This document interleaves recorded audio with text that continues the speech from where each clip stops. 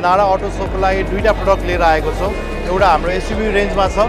That is series three हामीले त्यसमा पनि प्रिमियम र कम्फर्टको भेरिएसन दिएको छौँ भने हामीसँग मिनी इभी छ।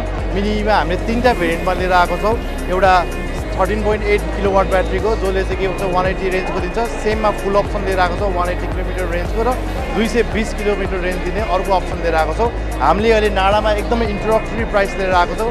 Specially for NADA forty nine lakhs ninety nine थाउजन्डमा हामीले सिरिजको प्रिमियम भर्सन दिइरहेको छौँ भने फोर्टी सेभेन नाइन नाइनमा हामीले सिरिजको कम्फर्ट भेरिएन्ट दिइरहेको छौँ। त्यही गरिकन सारा नेपालीलाई अटोमोबाइलमा गाडी चढोस् भन्ने हिसाब हिसाबले हामीले हाम्रो मिनी इभी लिएर आएको छौँ जसको प्राइस चाहिँ तेह्र लाख उनान्से हजारबाट स्टार्ट हुन्छ र सत्र लाख उनान्से हजारमा हाम्रो एन्ड हुन्छ।